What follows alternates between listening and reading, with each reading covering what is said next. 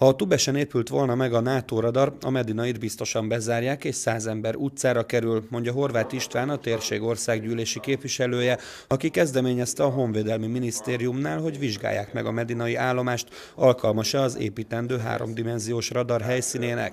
Most az első lépés megtörtént, a Honvédelmi Tárca a települést javasolja, de a végső szót a NATO mondja majd ki.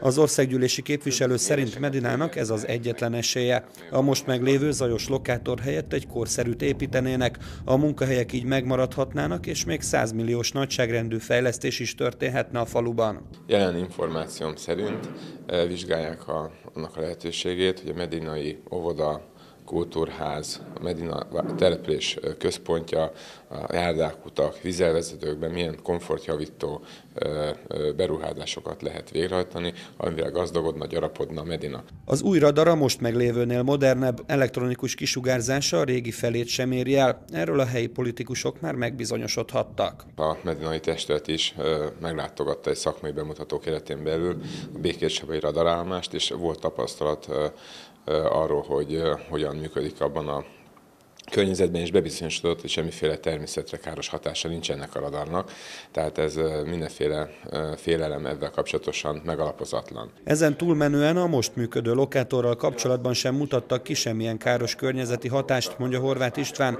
A két-két és fél milliárdos építkezés, ha elindul, két év alatt befejeződhet, és ha nem lesz a Tubesihez hasonló ellenállás, a radar 2013 év végére már működhet. A részleteket március 24-én este 6 órakor a Medinai Kultúrházban lakossági fórumon ismerteti Simicsko István, a Honvédelmi Minisztérium államtitkára katonai vezetőkkel és helyi politikusokkal együtt.